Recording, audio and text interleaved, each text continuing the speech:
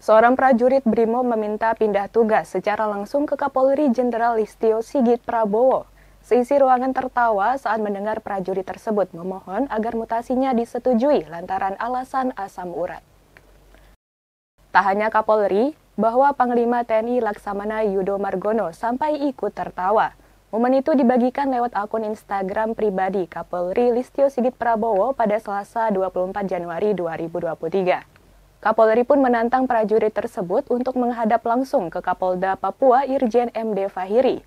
Jenderal Listio mengaku tidak masalah jika permohonan mutasi itu disetujui oleh Kapolda Papua.